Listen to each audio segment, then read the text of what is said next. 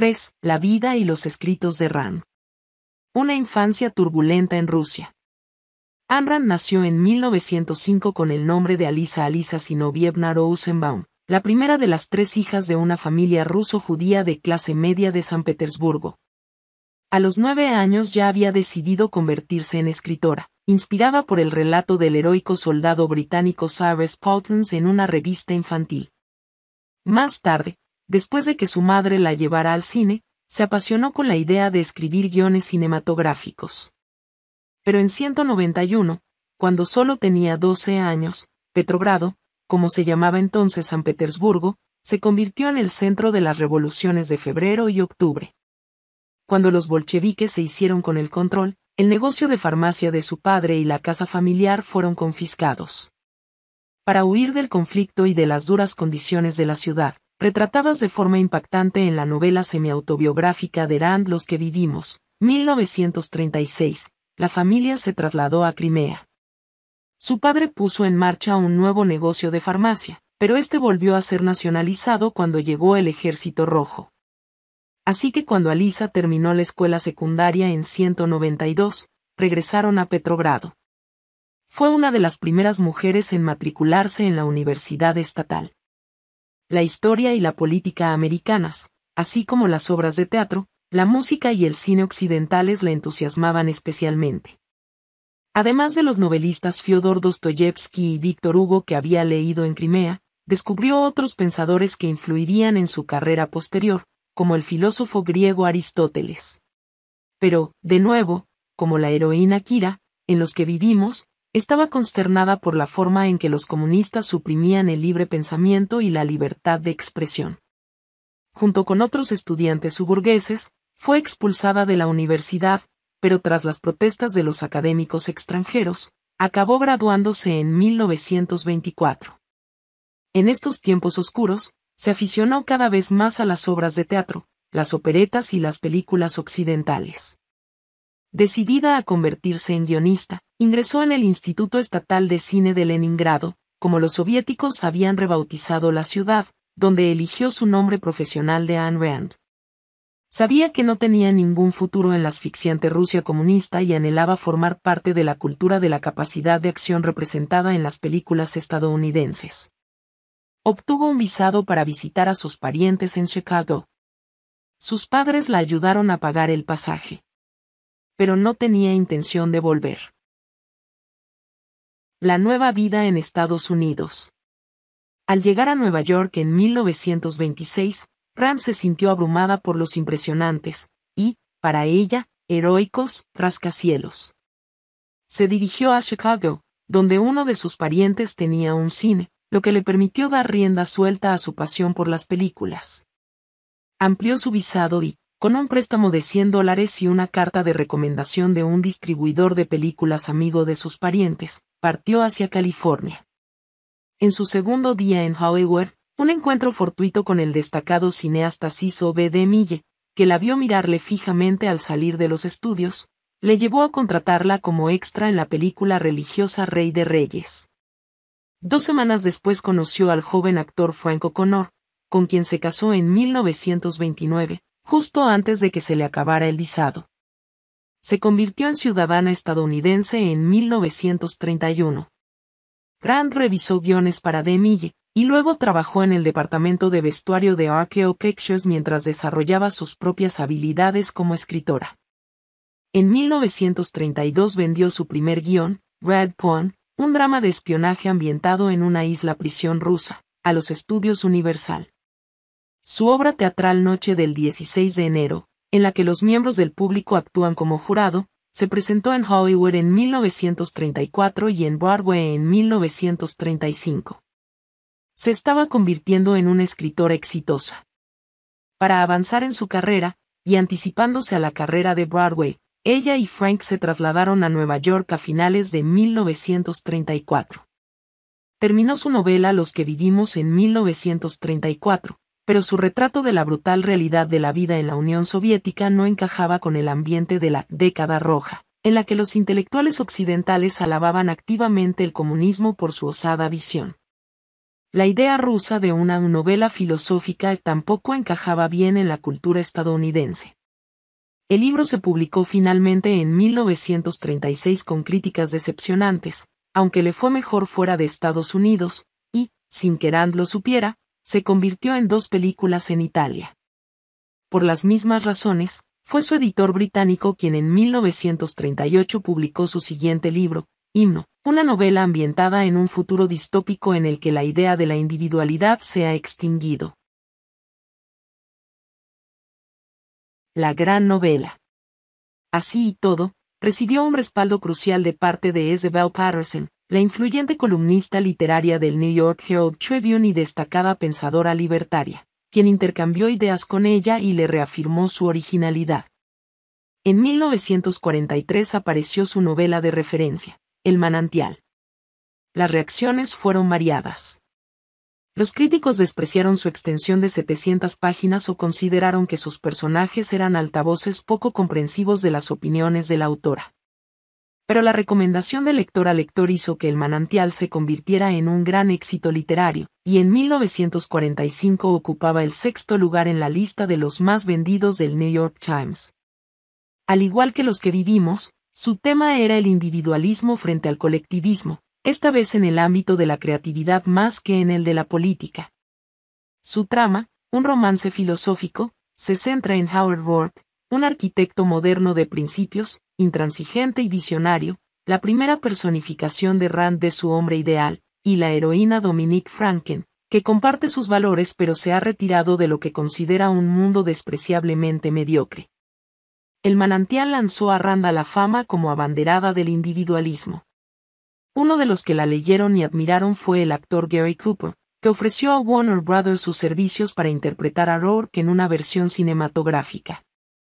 Rand aceptó volver de Nueva York a Hollywood para escribir el guion, pero con la condición de que el estudio no cambiara ni una palabra, condición que, a pesar de las discusiones, se cumplió. Cuando la película apareció en 1949, los críticos volvieron a ver a los personajes más como portavoces filosóficos que como seres humanos reales. La película no fue un éxito comercial. Sin embargo, atrajo a un gran número de seguidores, lo que impulsó las ventas del libro, y proporcionó a Arand una riqueza considerable, permitiéndoles a ella y a Frank comprar una gran, y, apropiadamente, modernista, casa de campo en California. La rebelión de Atlas. Rand se opuso activamente a la difusión de las simpatías comunistas en Hollywood, su Screen Guide for Americans explicaba cómo los cineastas podían detectar y resistir la propaganda comunista en sus guiones. En 1947 compareció como testigo amistoso ante el Comité de Actividades Antiamericanas de la Cámara de Representantes. Todo ello acentuó la hostilidad contra ella por parte de los intelectuales de izquierdas que dominaban el cine, la literatura y la crítica. Pero para entonces ya había empezado a trabajar en una nueva novela, la rebelión de Atlas. Para completarla, regresó a Nueva York, donde un grupo de admiradores irónicamente apodado el colectivo se reunió a su alrededor. La rebelión de Atlas, de 1200 páginas, se publicó en 1957. Sus temas, dijo Rand, eran el papel de la mente en la existencia del hombre y su nueva moral del interés propio racional describe una economía que se desmorona en la que las personas creativas rechazan su explotación por parte de los demás y se retiran para fundar su propia sociedad basada en el egoísmo, es decir, el rechazo a vivir por el bien de los demás o a esperar que los demás vivan por ti. Al igual que el manantial, la trama incluye una relación amorosa entre la hábil jefa ferroviaria Dagny Taggart y el innovador siderúrgico Hank Werden, y luego con el cerebro de la huelga, John Galt. La crítica despreció el tono polémico de la novela, su política y su longitud. Pero millones de lectores encontraron el libro, su historia y sus personajes convincentes, y todavía lo hacen. Pronto alcanzó el tercer puesto en la lista de bestsellers del New York Times y se convirtió en uno de los libros más influyentes del mundo. Hoy sigue vendiendo decenas de miles de ejemplares al año el movimiento objetivista y los descontentos. La fama de Rand la llevó a ser invitada a dar conferencias en universidades y otros grupos y a aparecer en programas de entrevistas en televisión, donde su estilo directo y su evidente pasión por sus opiniones poco convencionales se ganaron al público. A partir de 1962, se estableció y escribió para una revista, The Objectivist Newsletter, que se transformó en una revista más amplia, The Objectivist, y a partir de 1971 se convirtió en The Ayn. Muchos de sus ensayos para estas revistas se recogieron en una serie de libros de no ficción, como La virtud del egoísmo, del año 1964, sobre la moral, capitalismo, el ideal desconocido, de 1966, sobre economía y política, el manifiesto romántico, 1969, sobre arte y literatura, e introducción a la epistemología objetivista, 1979, sobre cómo formamos conceptos. Uno de los primeros seguidores de Rand fue Nathan Blumenthal, quien siendo adolescente la buscó. Cambiando su nombre por el de Nathaniel Brandon, trabajó estrechamente con Rand en temas de filosofía y psicología, dirigió el boletín de noticias con ella y aumentó la red de seguidores. Con su aprobación, creó el Instituto Nathaniel Brandon, convirtiendo en negocio la promoción y el debate de sus ideas. La propia Rand se reveló como una popular y carismática oradora en los actos del instituto y en los campus universitarios. Rand admiraba el intelecto y el empuje de Branden. En 1954 se dieron cuenta de que tenían sentimientos románticos el uno por el otro, aunque él era mucho más joven y estaba recién casado.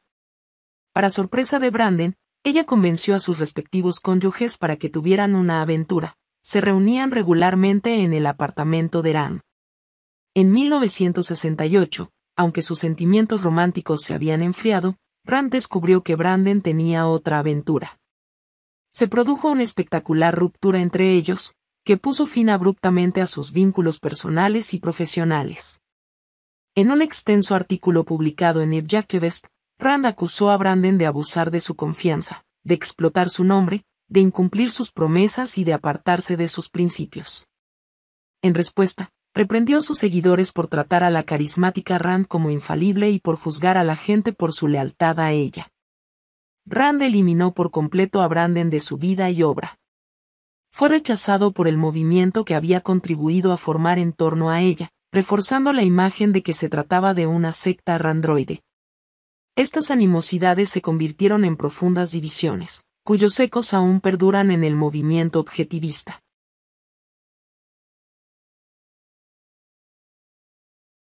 Los años finales. Rand continuó dando charlas a los estudiantes, adoptando posturas controvertidas en muchos temas, como la educación, las protestas estudiantiles, el aborto, la guerra de Vietnam, el servicio militar obligatorio, la guerra árabe-israelí, las leyes antimonopolio y muchas otras cosas pero en la década de 1970 varios acontecimientos personales distrajeron a Rand de su trabajo. Aunque el telón de acero había impedido durante mucho tiempo la comunicación con su familia rusa, por fin se puso en contacto con su hermana Nora, que la visitó en Nueva York. Lamentablemente, la visita solo le causó angustia. El tiempo y los acontecimientos habían creado distancias insalvables entre ellas, y tras una breve estancia Nora regresó a la Unión Soviética. Poco después, Rand, fumadora de toda la vida, fue operada de cáncer de pulmón. Su marido, Frank, también se encontraba mal de salud. Dejó de escribir boletines informativos y realizó menos apariciones públicas. He perdido mi mayor valor, declaró cuando Frank murió en 1979. Aunque se animó a trabajar en el guion de una miniserie de televisión basada en la rebelión de Atlas, no vivió para completarlo. En 1982, al regresar de un evento en Nueva Orleans para su deleite, y en referencia a la rebelión de Atlas, el organizador le envió un tren privado, cayó enferma y murió poco después en su apartamento de Nueva York. Sobre su ataúd se colocó un gigantesco signo de dólar, su símbolo para un país libre, para el logro, para el éxito, para la capacidad, para el poder creativo del hombre. la influencia continúa. Tras su muerte, el colega intelectual de Rand, y albacea legal y heredero, Leonard Peikoff creó el Instituto Ayn Rand para promover sus ideas. Las diferencias sobre el objetivismo y el grado de adhesión a los puntos de vista de Rand llevaron al estudiante y socio de Peikoff, David Kelly, a crear un organismo rival, el Instituto de Estudios Objetivistas, más tarde llamado Centro Objetivista, y luego Sociedad Atlas. Hoy en día, se han establecido grupos objetivistas en cuatro continentes diferentes, mientras que la Anthem Foundation for Objectivist Scholarship, creada en 2001, patrocina a profesores en varias universidades estadounidenses. A través de estas y otras fuentes, la filosofía de Rand está recibiendo una valoración crítica seria en revistas y libros académicos. Mientras tanto, se han publicado más obras de Rand, como libros basados en su correspondencia, diarios, ensayos, entrevistas y discursos. Las películas italianas se reestrenaron, como Los que vivimos, la obra de teatro ideal se puso en escena, la novela himno se adaptó a una obra de teatro, han surgido varios guiones y relatos cortos. Incluso hubo una versión en Hollywood de la noche del 16 de enero. También han aparecido biografías y memorias. Entre ellas un libro de Nathaniel Brandon, otro de su esposa Barbara, que se convirtió en un largometraje para televisión, y la película nominada al Oscar, Ayn Rand, Sentido de la Vida. Hoy en día, Rand es una parte central, aunque todavía controvertida, de la cultura popular. En 1999, su imagen apareció en un sello postal estadounidense. La rebelión de Atlas alcanzó el primer puesto en la lista de los libros de ficción más vendidos de Amazon.com tras la crisis de 2008, en medio de los temores de un colapso económico que se asemejara a la crisis descrita en la novela. Es evidente que la gente sigue acudiendo a Arand en busca de respuestas y de fuerza.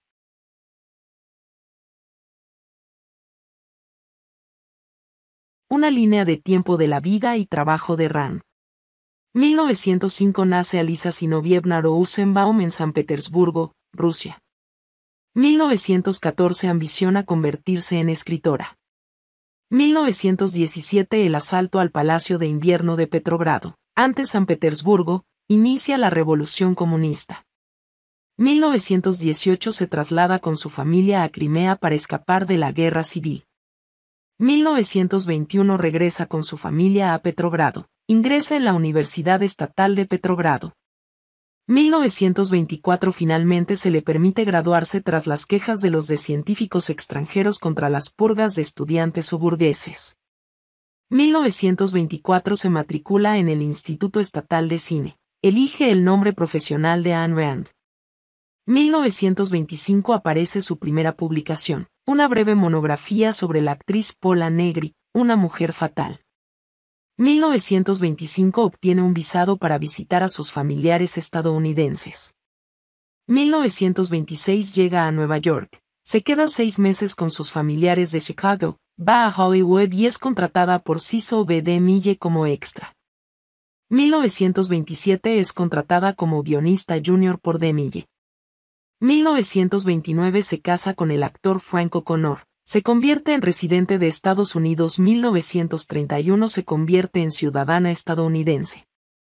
1932 vende su primer guion, el thriller de espionaje Bad Pawn, a los estudios Universal por 1.500 dólares, aunque nunca se produce.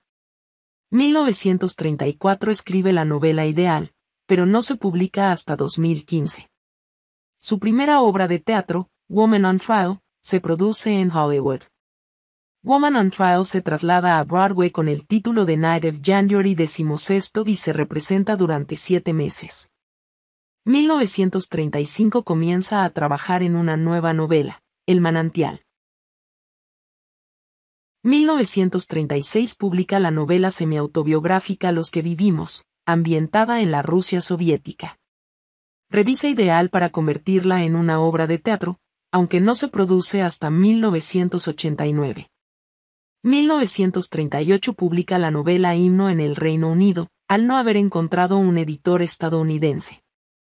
1939 escribe la obra filosófica de Misterio y Asesinato Think Twice, aunque nunca se produce en vida.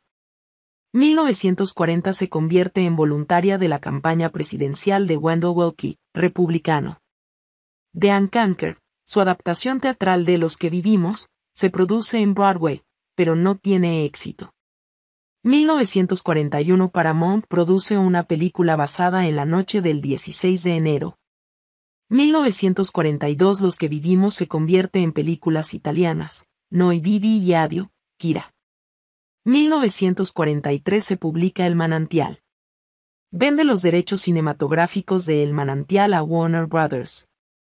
El productor Howe la contrata como guionista y editora de guiones.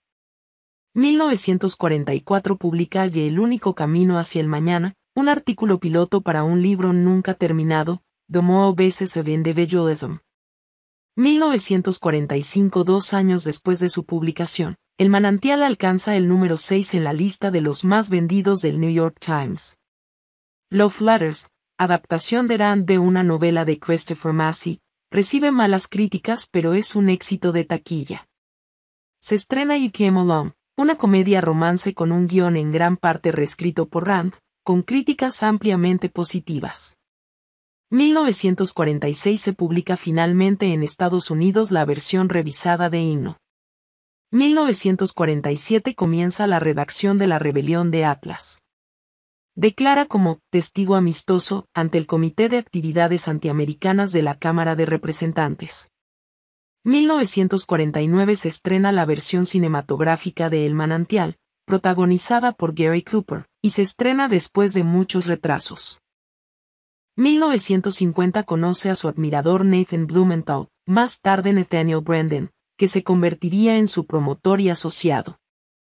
1951 se traslada a Nueva York, donde un grupo de discusión de admiradores, llamado en broma el colectivo, se forma alrededor de ella. 1954 inicia un romance con Nathaniel Brandon. 1957 se publica La Rebelión de Atlas y alcanza el número 3 en la lista de los más vendidos del New York Times. 1958 Brandon crea las conferencias Nathaniel Brandon, más tarde el Instituto Nathaniel Brandon, NBI. 1959 se publica la edición revisada de Los que vivimos. 1960 a 70 emprende giras de conferencias sobre el objetivismo. 1961 se publica El Nuevo Intelectual. 1962 aparece The Objectivist Newsletter. 1962 Nathaniel y Barbara Brandon publican ¿Y quién es Ayn Rand? sobre la vida, la ética, la psicología y la ficción. 1963 recibe el título honorífico del Lewis and Clark College. 1964 apoya al candidato republicano a la presidencia Barry Goldwater. 1964 se publica La virtud del egoísmo. 1966 se publica Capitalismo, el ideal desconocido.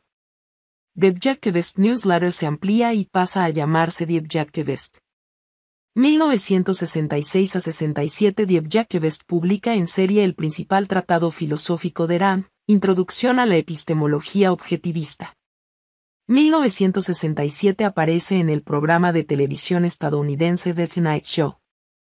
1968 la relación con Brandon y el NBI termina abruptamente. Desprecia ampliamente sus acciones en Objectivist. 1969 se publica el Manifiesto Romántico, que recoge las opiniones de Rand sobre el arte y la literatura. 1971 se publica The New Left, The Anti-Industrial Revolution. 1974 se somete a una operación de cáncer de pulmón tras años de tabaquismo. 1976 respalda las conferencias de Leonard Packhoff sobre el objetivismo como la mejor exposición de su filosofía. 1976 deja de escribir para The Objectivist. 1979 muere su marido Frank O'Connor. 1979 se vuelve a publicar Introducción a la epistemología objetivista, con un ensayo adicional de Leonard Packhoff de 1967.